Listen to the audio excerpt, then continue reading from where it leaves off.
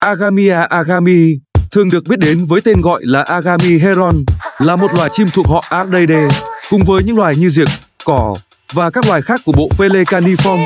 Loài chim này được tìm thấy chủ yếu ở khu vực rừng nhiệt đới ẩm ở Trung Mỹ và Nam Mỹ. Agami heron có kích thước trung bình, với chiều dài khoảng 76 đến 81 cm và cánh có chiều rộng khoảng 102 đến 107 cm. Bộ lông của chúng thường có màu xanh lục đậm ở đầu và đuôi, trong khi phần còn lại của cơ thể thường có màu xanh lục nhạt.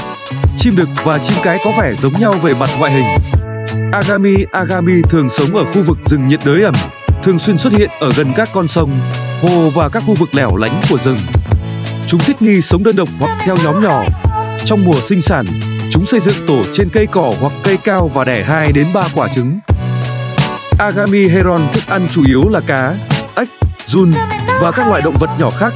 Chúng thường di chuyển chậm rãi trong nước nông để săn mồi.